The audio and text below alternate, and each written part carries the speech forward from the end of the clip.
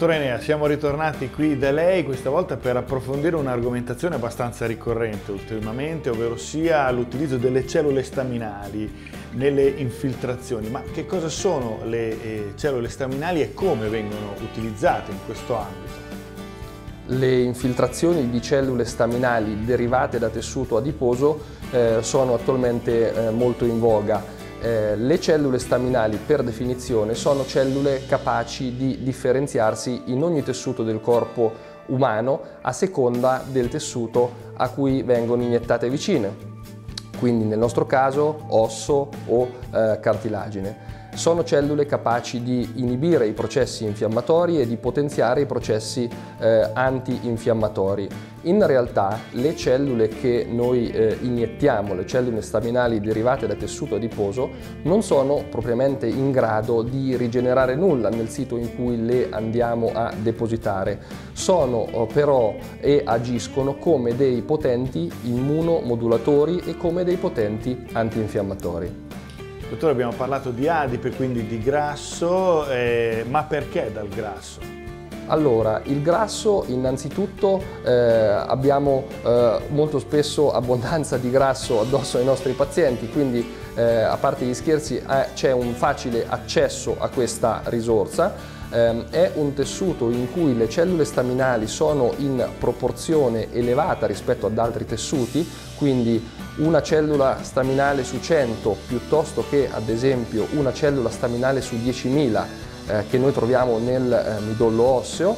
Eh, il, eh, il, prelievo è un prelievo poco indaginoso poiché possiamo effettuarlo sull'addome del eh, paziente e la qualità di queste cellule è, eh, e quindi il loro potenziale antinfiammatorio rigenerativo è indipendente dall'età del paziente. Quando vengono utilizzate le cellule staminali in ambito ortopedico o meglio sia quali sono le indicazioni elettive per il loro utilizzo?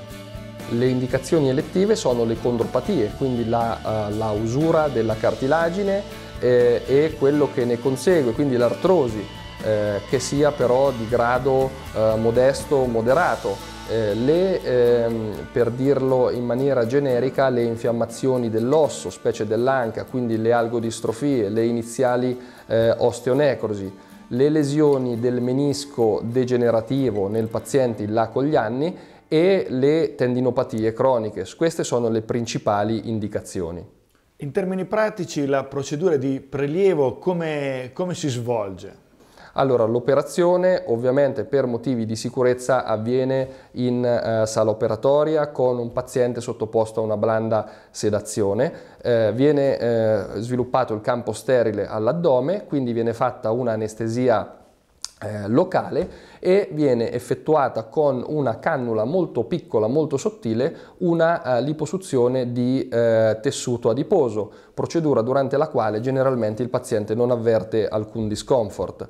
E, um, il tessuto adiposo viene quindi eh, collezionato, viene poi eh, lavorato eh, e ehm, ripulito diciamo, da tutte le impurità, compreso sangue, e ehm, viene frammentato in modo che possa essere poi con facilità reiniettato. In una fase immediatamente successiva, quello che noi abbiamo eh, preparato e lavorato viene in asepsi, iniettato a livello del ginocchio per esempio, oppure eh, dell'anca, eh, in questo caso sotto guida eh, radiologica. Parlando di tipologia di paziente, eh, sono tutti possibili candidati a questa, eh, a questa tecnica? Allora, teoricamente sì, anche se si eh, preferisce sfruttare questa eh, procedura per pazienti più giovani, diciamo orientativamente al di sotto dei 60 anni. Eh, inoltre, eh, essendo che comunque la liposuzione dell'addome eh, rappresenta un piccolo intervento chirurgico, io ehm, diciamo, spingo sempre il paziente ad effettuare prima delle procedure meno invasive e più riproducibili come delle semplici infiltrazioni di acido ialuronico locali poiché se queste avessero efficacia il paziente non, non avrebbe bisogno di sottoporsi a, a, questa, a, a questa procedura. Ovviamente eh, vanno anche evitati quegli stadi di eh, artrosi eh, troppo gravi eh, dove noi siamo quasi sicuri che il paziente non avrebbe beneficio dalla procedura stessa. Dottore, dal punto di vista del paziente, quali sono le aspettative? Cioè che cosa si può aspettare il paziente dopo eh, l'infiltrazione? Diciamo che nelle eh, prime paio di settimane successive alla infiltrazione il paziente avrà generalmente una sensazione di eh, pastosità dell'articolazione, eh, che sia essa anca, ginocchio per esempio, e eh, un livello di dolore variabile, talvolta nullo, talvolta invece un, un dolore che ehm, diciamo, richiede l'uso di qualche blando analgesico. Eh, successivamente, tra le due settimane e i due mesi, inizia l'effetto positivo eh, di, questo, eh, di queste cellule staminali che si va a sviluppare poi generalmente appieno dopo i due mesi e il paziente torna a svolgere normalmente le sue eh, attività in assenza di dolore. Quindi possiamo dire che l'efficacia c'è in tutti i casi?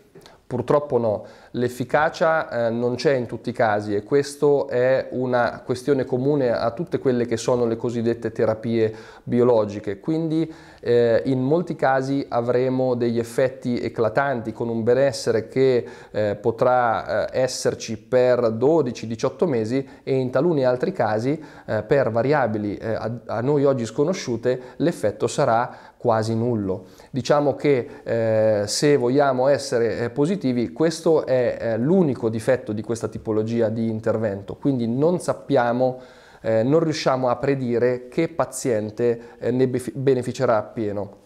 E, e, ci tengo eh, qui a sottolineare che queste infiltrazioni, queste cellule staminali non sono la panacea di eh, tutti i mali, non rigenerano nulla, sono solamente un potente antinfiammatorio e vanno eh, utilizzate in un gruppo selezionato di pazienti, in coloro che veramente ne possono beneficiare. Dottore, qual è il decorso post-operatorio? Allora, il decorso post-operatorio nelle prime giornate prevede eh, un relativo riposo, un relativo scarico articolare, eh, l'eventuale utilizzo di stampelle e eh, spesso noi consigliamo l'utilizzo di una pancera poiché il prelievo effettuato a livello dell'addome eh, potrebbe dare qualche discomfort a livello della pancia del paziente. Eh, appena il paziente se la sente abbandona le stampelle e eh, ricomincia le sue attività abituali, cominciando l'eventuale attività attività eh, sportiva o attività ricreativa più pesante dopo 20-30 giorni. Allora, per approfondire questa argomentazione così interessante, come si può fare per contattarla, eventualmente anche per un consulto? Allora, a Fano i pazienti mi possono trovare presso gli ambulatori di Via Roma, che sono siti in via Togliatti Triangolo Via Roma, eh, oppure possono eh, consultare il sito internet www.eneadavide.it.